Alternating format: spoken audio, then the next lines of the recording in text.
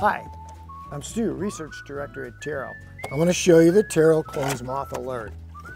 You know, if you've got some really nice clothes and a really nice closet, the last thing you want to do is pick up your cashmere from New Zealand and find a hole in it that's been chewed by a larvae of a clothes moth.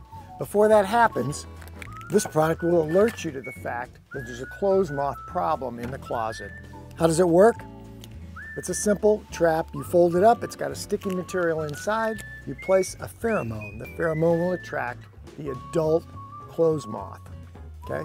That's telling you, holy smokes, there must be some clothes moth in here, which means there must be some larvae in my clothes that are eating their way through an expensive suit of mine or sweater of mine. TERRO Clothes Moth Alert. It's gonna alert you when you have a problem. You need to place it in, in your closets and just have it. Put it right next to a TERRO spider trap and check them once a month. That will alert you have a problem.